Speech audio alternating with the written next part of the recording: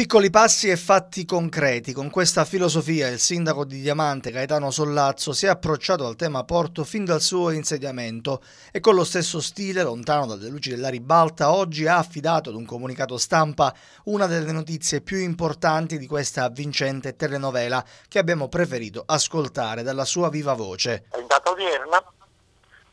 c'è stata una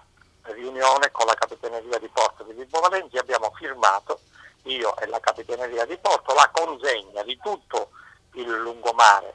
di, di Diamante che viene consegnato definitivamente sulla base della, dell'articolo 34 del codice di navigazione, viene consegnato nella piena disponibilità del comune, oltre che la passeggiata e il calpestio viene dato a noi, vengono dati tutti i locali che sono sotto la passeggiata, che sono prospicenti al porto.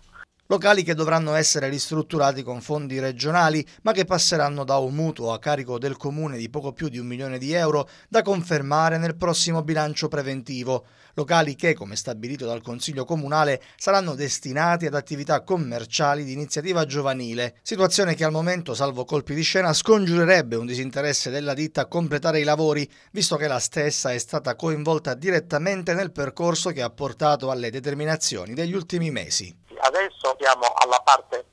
conclusiva di questo percorso, sembra che il, il, capo del Dipartimento dei Lavori Pubblici alla Regione, l'ingegnere Pallaria, non trova ostacoli che in questo momento non so quali possano essere. Facciamo i piccoli passi uno per volta e poi eh, vedremo come, come, come si evolve la vicenda. Io non ho motivi di pensare che la ditta non sia interessata, io ritengo che